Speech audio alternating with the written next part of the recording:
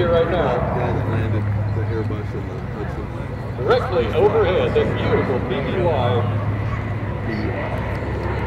The PBY we're seeing today being flown by Matt Castillo and Bob Frank Franicola is owned by Tim Slattery in San Diego, and it's uh, part of the collection of the Greatest Generation Naval Museum in San Diego's Gillespie Field.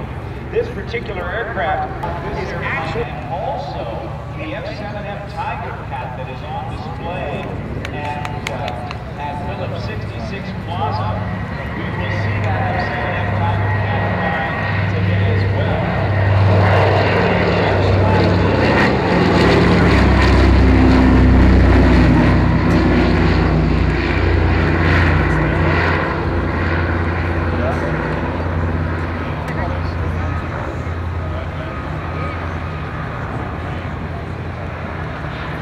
We expect it to be landing here shortly.